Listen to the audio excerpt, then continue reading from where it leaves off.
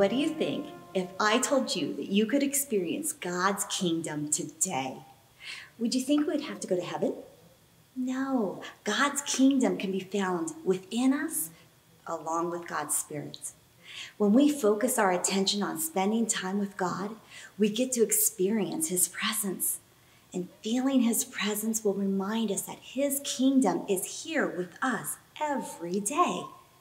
We don't need to wait for God's kingdom to come down to behave like we are in God's kingdom.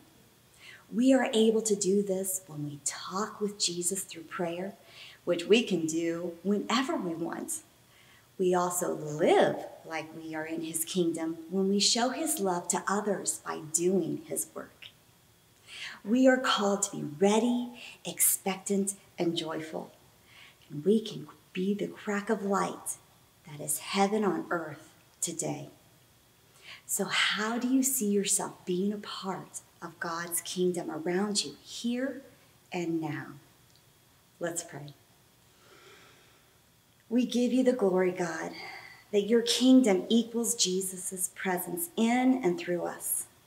Thank you for giving us the grace through faith to be your hands and feet right now, today, and tomorrow, serving you through our purpose for your kingdom. In Jesus' name we pray.